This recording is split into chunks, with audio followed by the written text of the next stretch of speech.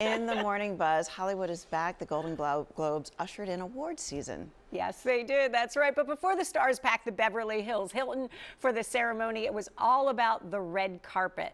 And Taylor Swift really stunned in a shimmery acid green. I love that custom Gucci that she was wearing there, looking gorgeous. Jennifer Lopez, I love the big flowered sleeves, hmm. Tam. Aren't they interesting? Right, I wanted to Beautiful. dress like that. She was old Hollywood in that strapless light pink with those huge floral sleeves. Margot Robbie, I'm a little over the Barbie pink, but I'm not over Margot Robbie, and she's rocking it there, looking great in that Armani. Red was very popular. We saw it on stars like Julianne Moore. So did a couple of standout men, including Barry Keoghan from Saltburn, who wore Louis Vuitton, and fashion risk taker Timothée. I've been told it's Timothée, not Timothy Chalamet.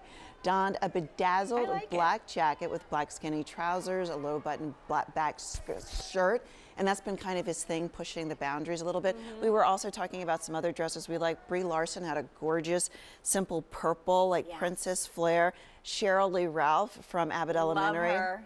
Black column with this beautiful dark gold. There were a lot of sort cutouts flowing. too, like yes. underlays with sort of lace on top. I think that's like a trend we're going to see coming up. you said Hannah Waddingham from Mm-hmm. I liked Ted. Lasso Yeah, did yeah, that. yeah. She looks great in Yeah, everything. she does.